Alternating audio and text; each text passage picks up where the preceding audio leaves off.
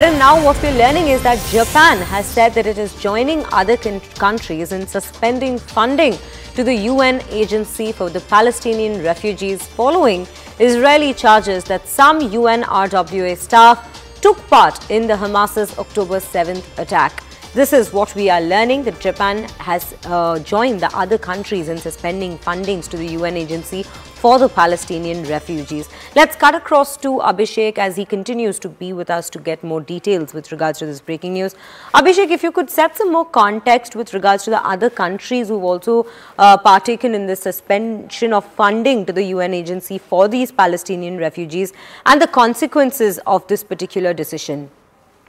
Well, uh, as have seen, this entire Hamas and Israel conflict has been uh, is quickly turning into a U.S.-led uh, confrontation between uh, you know Israeli-backed forces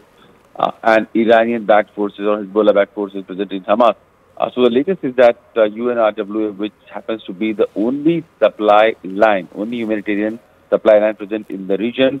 which is which was getting all the international aid channeled coming from all across the world to the people in Gaza who are stuck uh, between rock and the deep sea, literally uh, between Israeli forces and uh, on, on the other side sea. Uh, they are also not going to get any help from the world. Many parts, USA and Japan. Uh, we have seen other countries, many uh, NATO members also, France also suspending their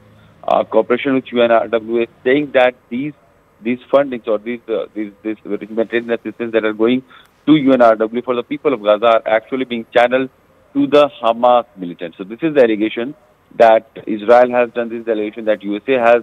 uh, done, and many US allies in the region who have been supporting UNRWA for the people of Gaza, they are now fastly suspending their uh, support to the organization. Uh, other than Germany, which has still stood by it uh, despite the concern, uh, many of the US-led coalition in the region has have suspended their, uh, their, their funding and their assistance to UNRWA, and that is going to pose a bigger challenge uh, for this humanitarian organization, uh, which will not be able to put as much effort as it was uh, for the people of Gaza present in the region.